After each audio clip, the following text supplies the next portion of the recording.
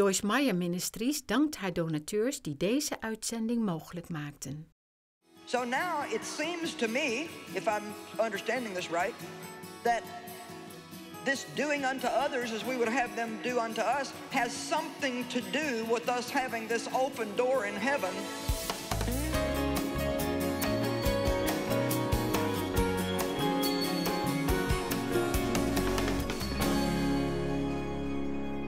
actually going to use the S word today sacrifice. we act like it's almost a dirty word these days. Everybody always wants to know what they can get, not what they can give. To, self, to be self-centered means to be concerned solely or chiefly with one's own interest, welfare.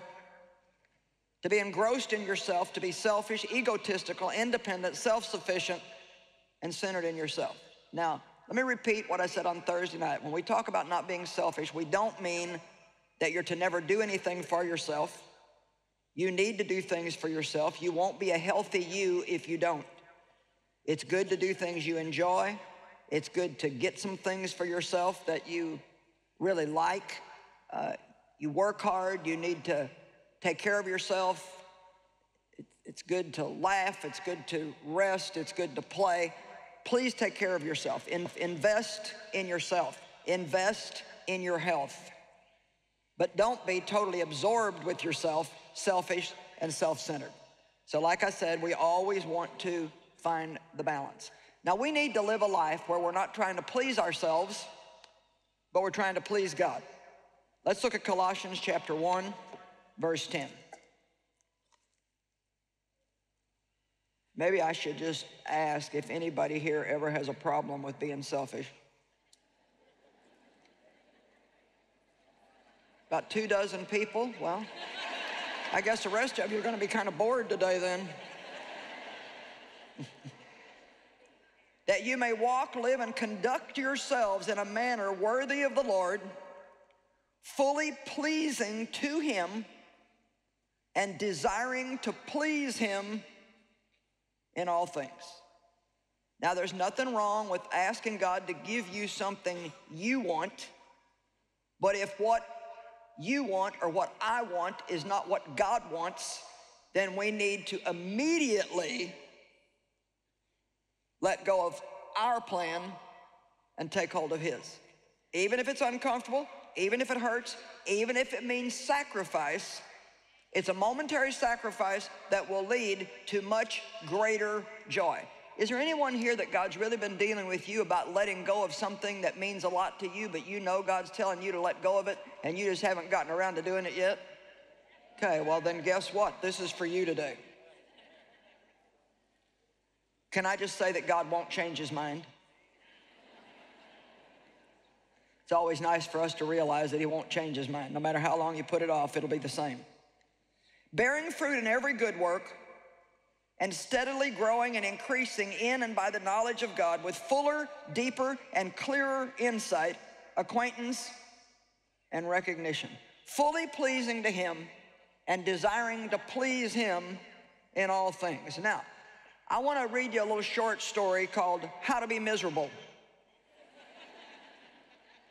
Just in case anybody's, you know, wanting that, I can tell you how to get it. Think about yourself constantly. Use I as often as possible. Mirror yourself continually by the opinion of other people. Listen greedily to what people say about you, and if it's not what you want to hear, get angry. Expect to be appreciated by everyone.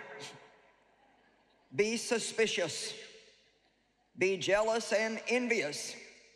Be sensitive and easily offended. Never forgive a criticism. Trust nobody but yourself. Insist on consideration and respect at all times. Demand agreement with your own views on everything. Sulk and feel sorry for yourself if people are not grateful to you for what you do for them. Never forget how much you've done for other people. Think about it at all times but always remember what they have failed to do for you. Shirk your duty, seek at all times to entertain yourself and do as little as to possibly can for other people. Now, the thing that occurred to me while I was reading this, right in the middle of reading it, is this is exactly the way I used to be. I mean, there's probably not one of these things that I wouldn't have been guilty of when I started my journey with God 38 years ago. And I'm just here to tell you today that this is a very important issue. Jesus died so that we might no longer have to live to and for ourselves, but to and for him. Ephesians 5:15. He died to forgive our sins. He died so we could go to heaven. He died so we could have a relationship with God. But he died so we would no longer have to live to and for ourselves. The greatest thing that God has set me free from is me.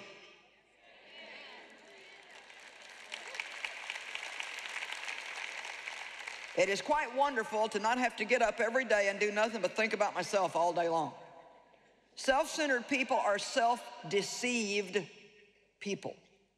They think the more they do for themselves and the more everybody else does for them, the happier they will be. But the exact opposite is true.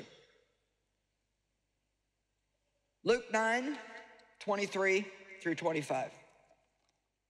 And he said, If any person wills to come after me, let him deny himself, disown himself, forget, lose sight of himself and his own interest,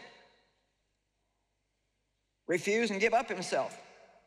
The simplicity of this is he's saying, if you really want to follow me, then you got to get yourself off your mind. And take up your cross daily and follow me. The cross that Christ asked us to carry is not disasters and disease and every kind of misery that you can come up with. You know, sometimes when people are having trouble, they'll say, well, you know, it's just my cross to bear. Well, that's really not the cross that Jesus asks us to bear. Yes, we may have to go through things, but he came to give us victory over those things. The cross he's asking us to carry is to make a decision to live unselfishly in a world where people need to see Jesus. And Jesus is love. God is love. It's not just something he does, it's who he is. He pours his love into us so we can receive it, be healed, and then let that love pour out of us to other people. God works through people. We keep asking God to do this and God do that and God solve this problem and God solve that problem. I wonder what would happen if we begin to pray, God, I want to pray for this person that's hurting, and if you want to use me, show me what you want me to do.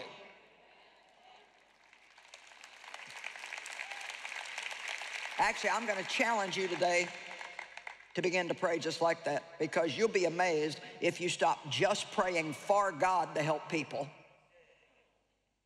That don't cost anything. I can even feel quite religious when I do that. But if I really get down to business and say, now God, I don't, you know, I don't know if there's anything you'd want me to do or not, but if you do, show me what it is and give me the grace to do it. And sometimes we look at a problem and we don't even consider that God might use us because the problem is too big for us all by ourselves. But you know, there's nothing wrong with going around and getting a few other bored, miserable Christians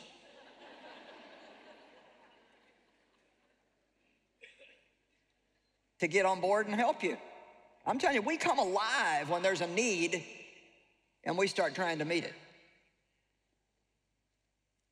The Holy Spirit puts many opportunities in front of us to put others before ourselves if we just will. Let me give you an example. This just happened about three weeks ago. Dave and I took a little trip to Branson, Missouri to just rest and see some of the shows down there. And we went to one show that really just was pretty cheesy and wasn't very good at all. And uh, so I'm already got my plan after about 30 minutes. Break time, I'm leaving. and um, so I said to Dave, I said, this is really bad. Let's just, we need to go at the break. And he said, you know, I've been kind of thinking about that too. And he said, I don't feel like God wants us to leave. And I'm, I kind of like already knew that, but I wasn't quite paying all the attention to God that I needed to. Because you know, sometimes when you really want to do something, you can just kind of brush God off pretty quick. And uh, so, of course, you know, I got a little, well, why do we need to stay? And he said, well, just, he said, I just thought about it. And he said, you know, if that was you and people left, he said, you know how you feel if somebody gets up and leaves while you're preaching. And he said, just, I just think it would make them feel bad. And so he said, I just think we should stay. So I knew right away it was right. You know, there's a little thing in the Bible that says, do unto others as you would have them do unto you. Well, a couple weeks ago, I started trying to live according to that, and I made a couple hours. Then the next day, I'd have to start again, and then the next day, I would have to start again. And God keeps bringing that scripture back to me, and I think we're in for a fight. Because I don't think we really even begin to comprehend how much it would change our lives if we actually did that. Do you know there would be no problems in marriages if people did that? Let's look at Matthew chapter 7, beginning in verse 7. Keep on asking and it will be given to you. Keep on seeking and you will find. Keep on knocking reverently and the door will be opened. For everyone who keeps on asking receives, and he who keeps on seeking finds, and to him who keeps on knocking, the door will be opened. So we see that God is inviting us to bring our needs to him and to, to even be a reverent pest at times. Now, what man is there of you if his son asks him for a loaf of bread, will hand him instead a stone? Or if he asks for a fish, will hand him a serpent? If you then, evil as you are, know how to give good and advantageous gifts to your children, how much more will your Father who is in heaven, perfect as he is, give good and advantageous things to those who keep on asking him? So this invitation is clear. Ask and keep on asking, seek and keep on seeking, knock and keep on knocking. God is good. He wants to help you. If you ask him for something, he's not going to give you something bad. If you can be a blessing to your children, evil as you are, how much more will God bless his children? Amen? Did I say that wrong? I don't know. What did I say? You're laughing, and I didn't think I said anything funny. anyway, evil as we are, if we can give good things to our kids, then God can do so much more. But now here's the part I want you to see, verse 12. So then, now, so then wouldn't be there if what we're getting ready to read didn't have a lot to do with what we just read. So then, whatever you desire that others would do to and for you, even so do also to and for them. For this sums up the law and the prophets. So now it seems to me, if I'm understanding this right, that this doing unto others as we would have them do unto us has something to do with us having this open door in heaven.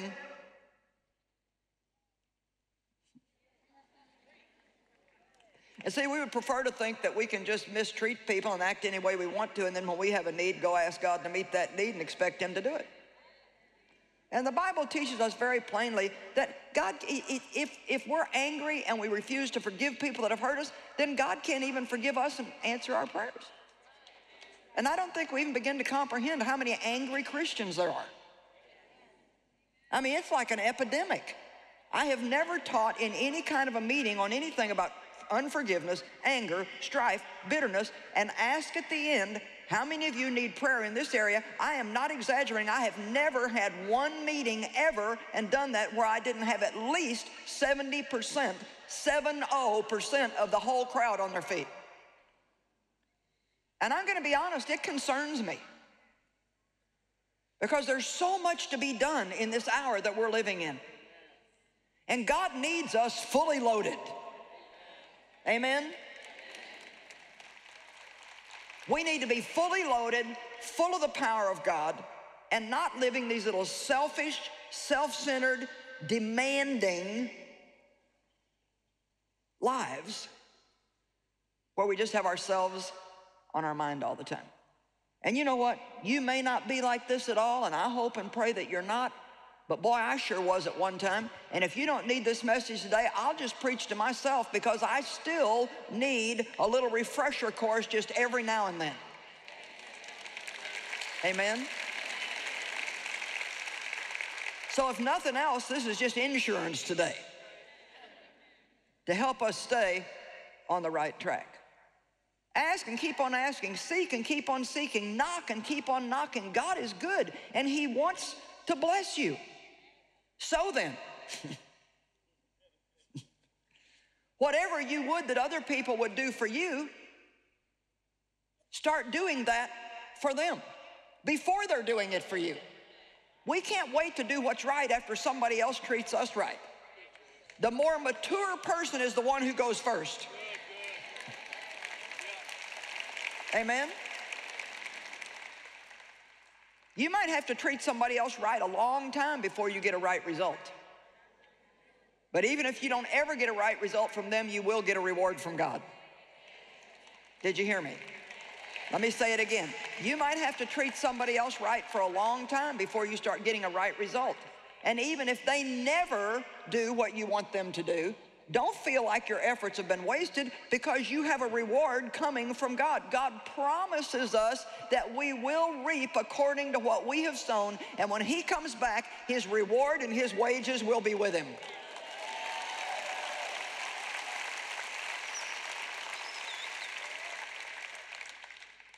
Verse 13 Enter through the narrow gate. For wide is the gate and spacious and broad is the way that leads away to destruction, and many are those who are entering through it. But the gate is narrow, contracted by pressure, and the way is straitened and compressed that leads away to life, and few are those who find it.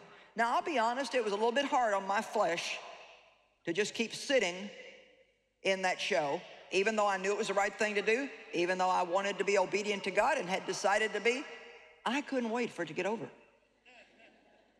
You know, just because we obey God, that doesn't mean our flesh is going to be clapping and having happy goosebumps.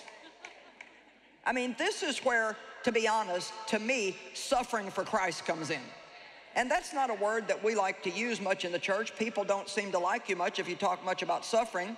And you know, there's, there's certainly a certain kind of suffering that Jesus paid for that we don't have to endure. But the Bible says that if we're not willing to suffer in the flesh as Christ suffered, then we can never really walk in the Spirit and be obedient to God. We have to be willing to sacrifice what we want many times because we know it's not the best thing for the kingdom of God or for somebody else. Now, I could have walked out of there and probably would have if Dave wouldn't have been listening a little more than me. Sometimes I listen better than him. Sometimes he listens better than me. That's why we make a good team. And, uh, you know, sometimes I'll be ready to just really give somebody what they deserve, and Dave will say, well, I think we need to show him mercy. And then other times he, he'll be like, you know, man, that guy needs to get off the road. He can't, can't even drive at all. I'm like, well, now don't act like that. You know, he probably just didn't see you. And so it's good to have other people around sometimes that can remind us if we start to get off track just a little bit. Amen? But now here's what happens to us, I believe, a lot of times. Let's just say that maybe I would have went ahead and got up and left. And you know what? If I would have gotten up and left, I would have known in my heart that it wasn't probably the most excellent thing to do.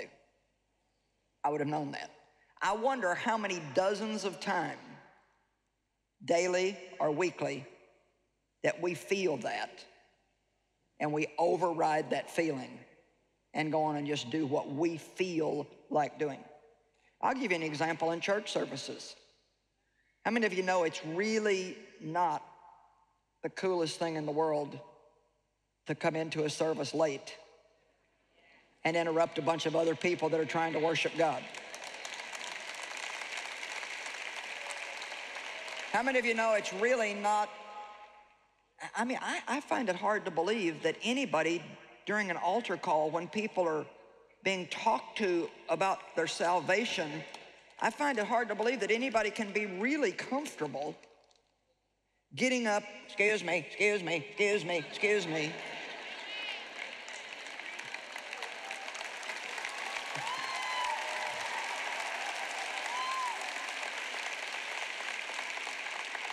You know what? Yes, these are little things, but are they really little things? It's the little foxes that spoil the vine. And I think if we can learn to be obedient in these little things, then we're not going to really have a difficult time being obedient in the bigger things. A lot of these things are things that are just between us and God. They're not even anything that you go talk to anybody else about. It's just, you just kind of know that God wants you to do this or doesn't want you to do that. And then just because you love Him and you want to please Him, you go do it. And if you're uncomfortable, then so what? You're uncomfortable. You still have a great feeling inside. So here's what would have happened had I left, kind of sensing it wasn't right. In all probability, that day, maybe into the next, I would have kind of just felt like not quite as happy as normal, like, I don't know what's wrong. I wonder how many times we go around thinking, I don't know what's wrong. I'm just kind of in a little funky mood today, and I don't know, you know, I don't know what's causing it. And then even worse, sometimes we look around and start blaming it on somebody else. Well, you're not this, and you're not that, and you're not something else. And it's amazing what happens if we'll get honest and start saying to God, what, what's going on here?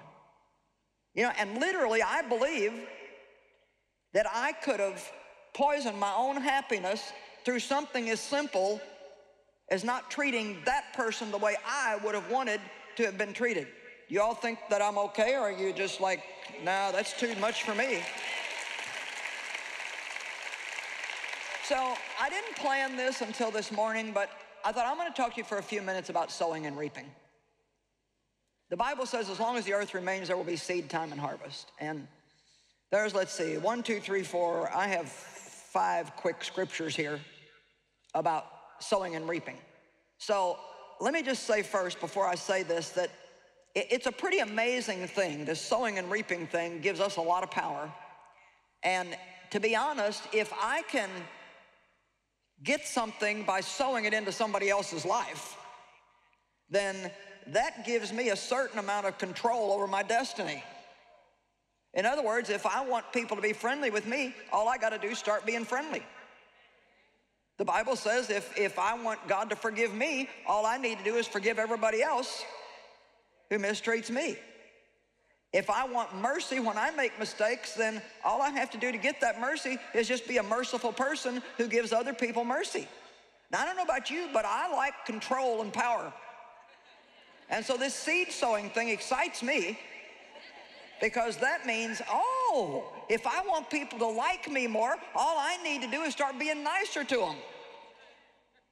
Hello? It's really, it's really amazing, this whole thing, this privilege that God has given us. Matthew chapter 7, the first two verses. Do not judge and criticize and condemn others so that you may not be judged and criticized and condemned yourselves. For just as you judge and criticize and condemn others, you will be judged and criticized and condemned. And in accordance with the measure you use to deal out to others, it will be dealt out again to you. That can't be much plainer, can it? How many of you don't want other people picking on you for all your faults? How many of you would love other people just to cover some of your mistakes and just zip their lip about it and not say anything. Well, guess what? The best way to get that is to start giving it.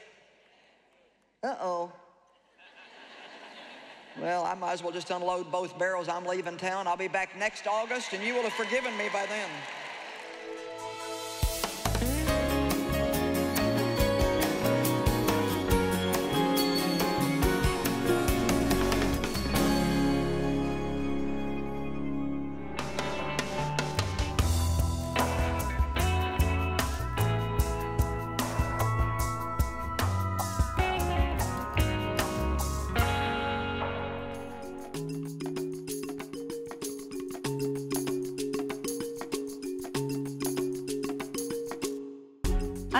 Amazed when we come to a medical clinic that we can come out to a, a field or something that there's absolutely nothing and it becomes a well-oiled machine of, of medical care. How long have we been doing this? Uh, this is our 100th outreach. That's and, awesome. uh, I want to see it's close to 10 or 11 years.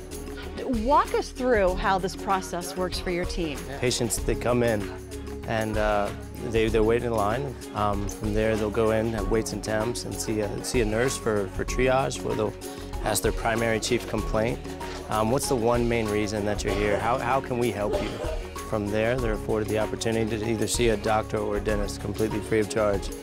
Um, from a doctor, we ask every single patient that comes in, uh, can we pray for you? And then from there, once they exit, they come here and they receive uh, free medicine.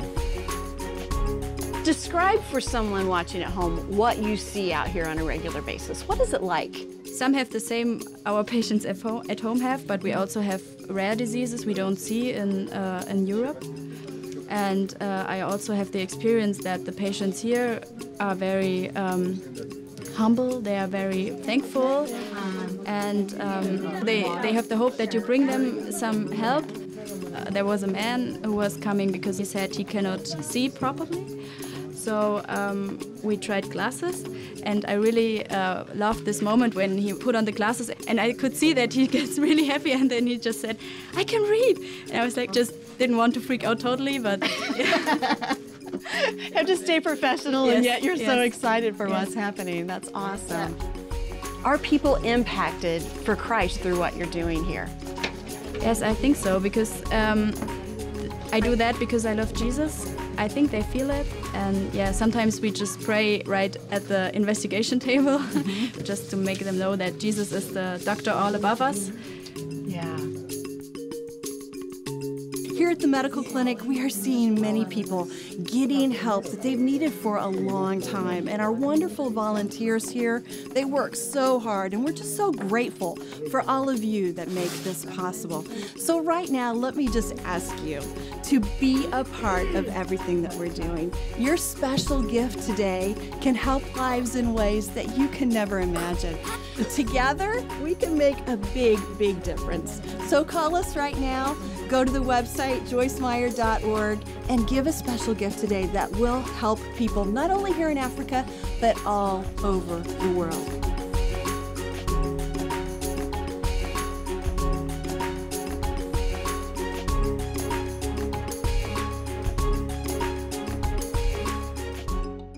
In het leven lopen we hier en daar butsen en schrammen op. Sponsor over. Maar sommige beschadigingen kunnen het leven volledig lam leggen. Hoe overwin je woede en bitterheid? Lees het boek van Joyce Meyer. Doe jezelf een plezier. Vergeef. En start bevrijd aan je toekomst. Bestel je boek. Doe jezelf een plezier. Vergeef.